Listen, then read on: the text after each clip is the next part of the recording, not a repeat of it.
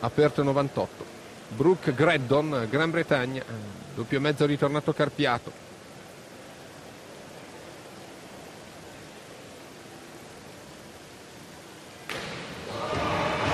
Sicuramente ancora un buon ingresso in acqua da parte dell'atleta inglese.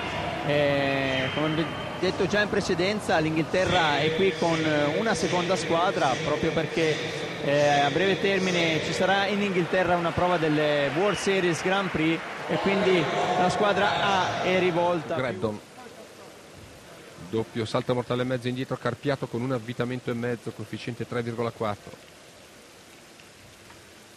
e questo è uno dei tuffi che si, la, la, FINA, la Federazione Mondiale, avrebbe intenzione di ridurre come coefficiente di difficoltà perché ormai lo, lo fanno, fanno veramente tutti. Un po' come i mezzi, i mezzi avvitamenti di cui si parlava poco sì, fa. Sì, sì. E si, vuole, si, vorrebbe provare a ritornare a, ad aumentare un po' quelli che sono invece eh, i tuffi di una volta, cioè il salto mortale mezzo indietro con tre avvitamenti e mezzo o quattro avvitamenti e mezzo addirittura che eh, sembrava essere un tuffo praticamente impossibile, erano pochi, veramente pochissimi al mondo a poterlo eseguire. Greddon al secondo posto, vicinissimo alla Vintoniac, Audrey Labo, per mezzo avanti Carpiato. 61-20 il parziale per la Greddon. Seconda in classifica. Adesso Brooke Greddon che pasticcia un po' con la verticale, doppio salto mortale indietro con un avvitamento e mezzo stata sicuramente più abile nel fermare la spinta della prima gamba che ha messo in verticale per poi andare a posizionare la seconda. Sicuramente eh, salva per questo particolare ma non è salva nella parte finale del tuffo. È un po' ballerino e ingresso in acqua anche. 60,80 continua a guidare la Vintoniac adesso Labo doppio mezzo indietro Carpiato e poi Noemi Batchi abbondante. 41 punti per lei. Greddon, doppio mezzo indietro Carpiato, poi Labo e Batchi.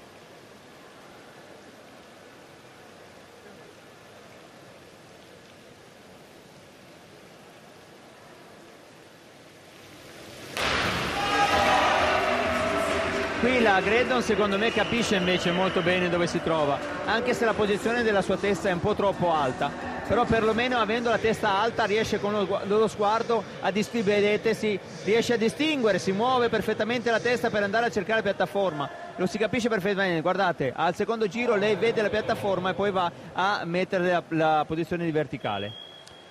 60 punti,90 Graddon che va al comando della classifica. Semifinale raggiunta invece da Cagnotto e Marocchi, poi però eliminate. Graddon doppio mezzo rovesciato raggrupato seconda in classifica, molto vicina però a Maro- ah, scusate, a Brenda Spaziani.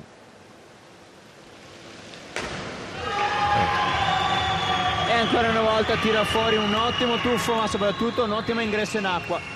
Il tuffo tecnicamente non era ben eseguito, era molto scappato dalla piattaforma, non c'era spinta, si è allontanata subito. Vedete le mani che vanno a raggruppare molto alte, però quello che c'è di buono La è proprio... Batti dovrebbe tirare fuori un tuffo così. Esatto, esatto, infatti il parziale della Greddon 60,85 mi sembra non, bast- non basterebbero eh, basta. qualche mezzo punto in più tanto la Greddon va superare quota 300 punti. Coltunova Greddon Vintoniak sicuramente chi esce male da questa eliminatoria è la Prokopchuk nona ma chissà magari ha scherzato. Eh sì. non, avendo, non essendoci stati mai dubbi sulla sua qualificazione si può, si può anche giocare a nascondersi. Entra miracolosamente verrebbe a dire Noemi Batchi ed entra la grande Brenda Spazzani. Ci fermiamo per qualche istante linea alla regia poi conclu- la conclusione di questa prima sessione di gare